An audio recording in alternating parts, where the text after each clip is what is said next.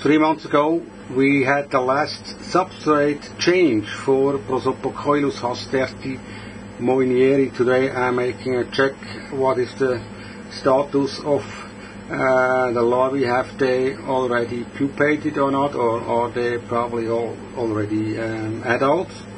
So it's probably the same like with Giraffa that the males need a lot more time to develop than the females.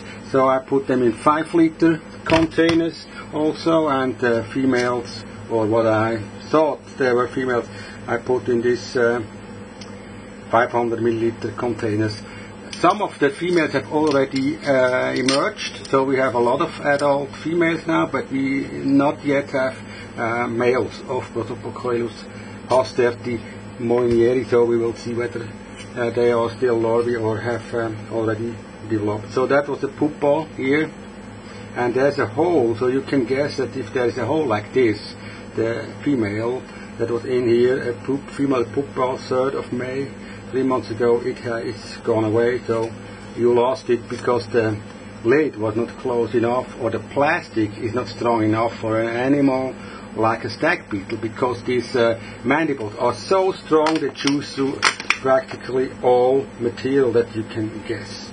So let's have a look what is inside here. So I was guessing nothing anymore in here because as you see the hole is a typical sign, it's also the typical form of a female. It, it goes through this uh, kind of hole and can go away. So where do we find it?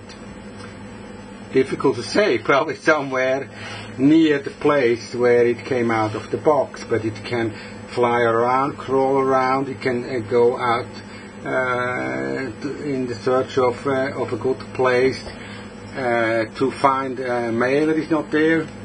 So probably if you are lucky you will find them in the place where they came out. So if there's a door open or something, of course they are lost then.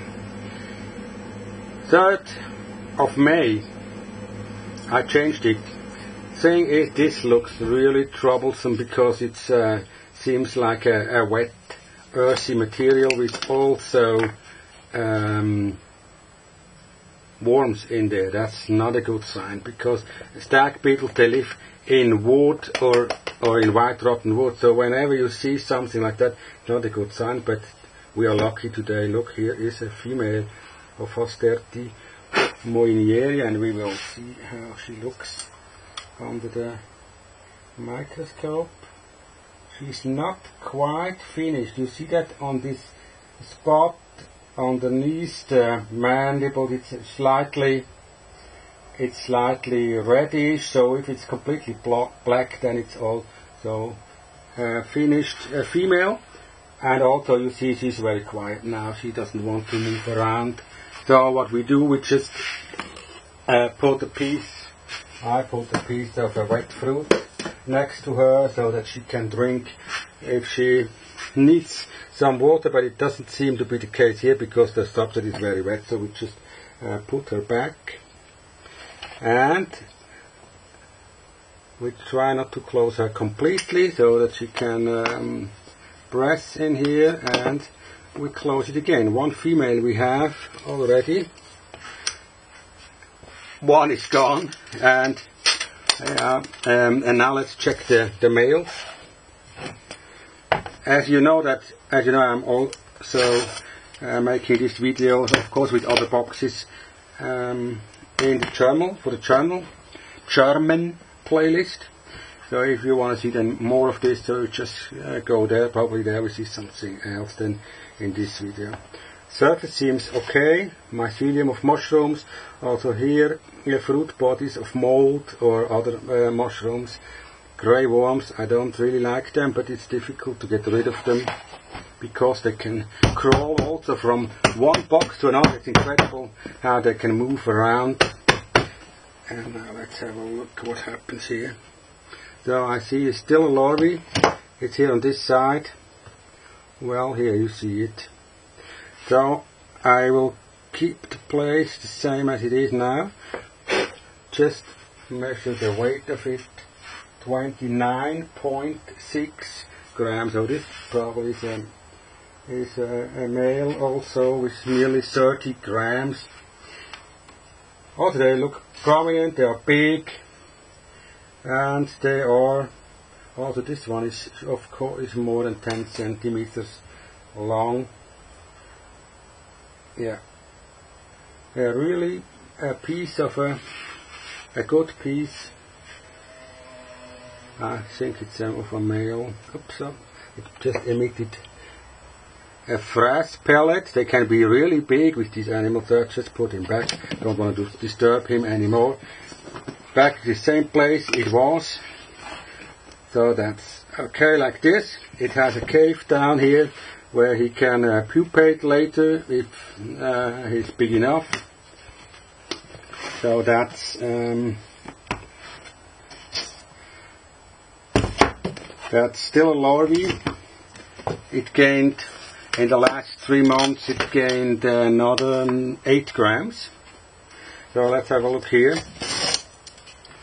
This was a really big animal force of April. It was uh, already 30 grams. So let's have a look what happened here. Do we see something from the side? I don't see. Yeah. So uh, now, now you also see why I try to take the whole block out in one piece because if it's something in here I just can put it back to the box in the same structure as I find it here. So now what is here?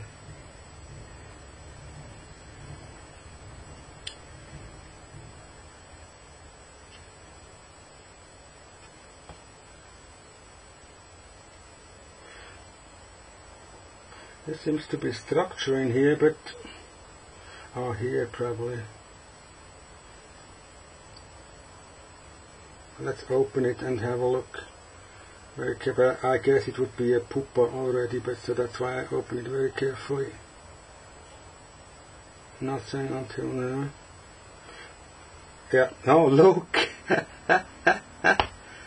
look how beautiful this male in the in the pupal chamber it's looking out to this world first second it sees the light yeah because they always live in the substrate but they can develop perfect eyes also in a surrounding where you can't see anything. So how does this work? Incredible. Nature is really incredible. So I try to uh, clean it a little bit so that we can take it out and sh uh, show it uh, to you. That's really nice. So we have a male already of Prosopocoilus hasterti moinieri and this is, I think, not a small one. And because we have already some females and this is not completely developed but it's in a good stage now just to put now look at this one. Hasterti Moinieri from the Solomon Islands. So how long is this one? This is it's much more than six. It was nearly seven centimeters. It's six point I would say eight uh, centimeters. That's prominent for Hasterti. Um, when it's a major, it's a major male. They don't make that big mandibles, as for example Prosopocoilus uh, uh, giraffa. They are a bit from the size, they are much more compact, um, a, a, little bit more Dorcus-like. Um, but this is a very nice species and I am happy that I can grow them so well. This is the structure here of this pupal chamber here that's also very interesting how they build it. This is, let's put him back to his substrate here. Look, and then we have a look at this uh, part of the broken shell of the pupal chamber. It's built in several layers. So inside there is one layer, is the, the brown one. Then there is a, a yellowish one here.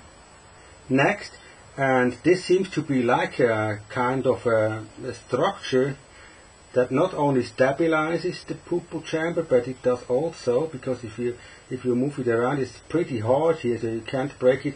Compared with the substrate here, you can just break it apart. But this is a really strong thing here, material, and also probably this uh, inhibits other animals from coming into this pupal chamber. That's a very interesting uh, structure also. So, my dear Hasterti brother, what are we doing with you? I think we will find you one or two nice females and now uh, here we have prepared the breeding box for you. We just put you uh, back with a lot of your original material into the box where you originally came from.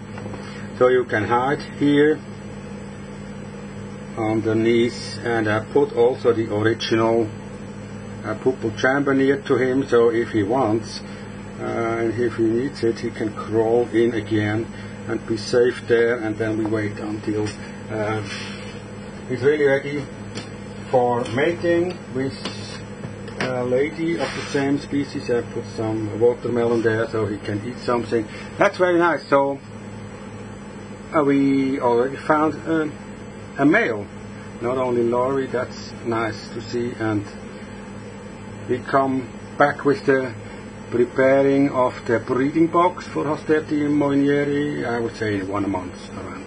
Thanks for watching.